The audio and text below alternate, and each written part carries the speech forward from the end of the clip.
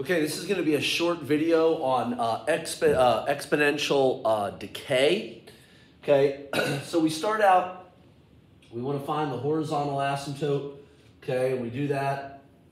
All right, it's just going to be y equals 3 for the horizontal asymptote. Okay, so it's 1, 2, 3. Straight across here.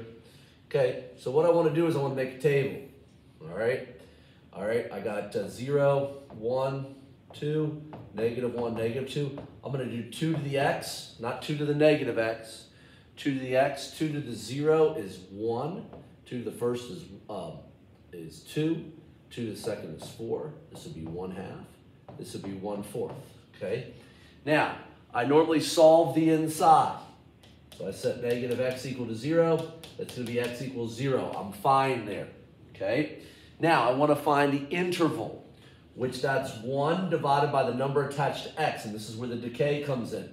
1 divided by negative 1 is negative 1. So what I want to do is I want to go, uh, I want to add negative 1, and this way I want to subtract negative 1. And so in essence, I'm adding this way, subtracting that way. So uh, that's going to be um, negative 1, okay? That's going to be negative 2. That's still going to be 0, okay? That's going to be 1. That's going to be 2. Okay? All right. So if I plot those points, 0 over, um, oh, then I got to change the y values. And I'm going to change the y values by adding 3. So uh, 0.25, uh, uh, that's what that is. That'd be now 3.25. Be a half plus 3 would be 3.5. Uh, 1 plus 3 is 4. 2 plus 3 is 5. 4 plus 3 is 7. Okay, so negative 2 over, 7 up, 1, 2, 3, 4, 5, 6, 7. Then um, negative 1 over 5 up, 0 over 4, uh, 1 over 3.5, 2 over 3.25. And so what happens with this one is what you have is a decay, okay? It's growing down. We'll get, we'll get to the applications of this later, okay? So if I'm labeling my arrows, that's a right arrow, and it's leveling off at 3. This is a left arrow going up. So my domain, smallest x to biggest x, negative infinity to infinity. My range, okay, is 3 to infinity, okay? All right, curve bracket because it comes from the asymptotes. If I start from the left, this is decreasing the whole way from negative infinity to infinity. This is none. Okay, so what are my transformations? All right, I have a uh, shift up of three.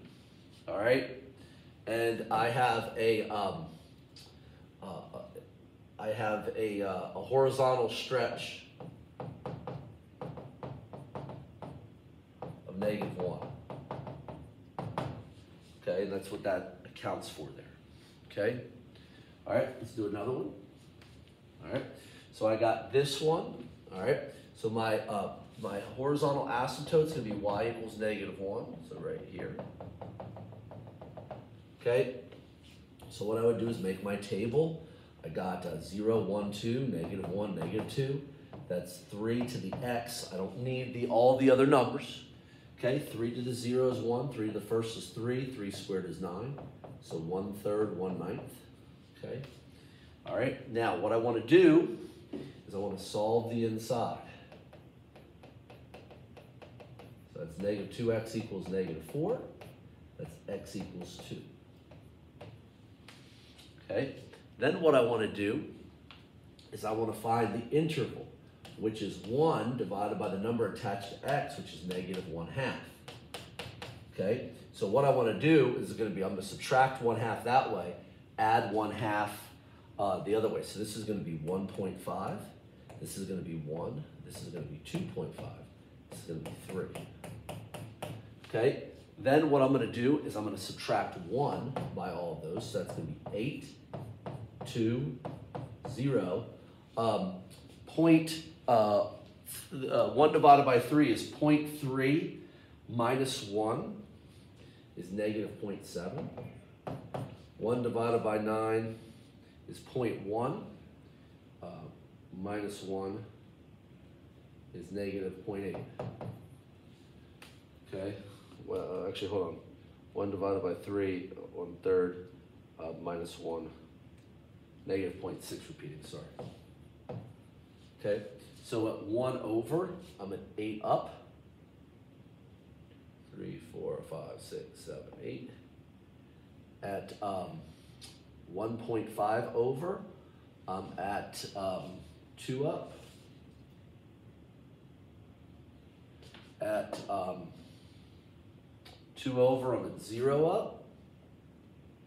At 2.5, I'm at negative 0.6. And at uh, 3, I'm at negative 0.8.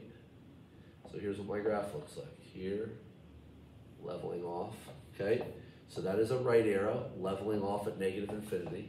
This is a left arrow going up. So my domain is negative infinity to infinity. My range, smallest y is negative 1, biggest is infinity. This is decreasing the whole way from negative infinity to infinity. This is none. Okay, what are my transformations? Shift down 1. Okay, horizontal, stretch of negative 2. Okay? All right? All right. Go ahead and try these. Okay? That will conclude the graphing portion.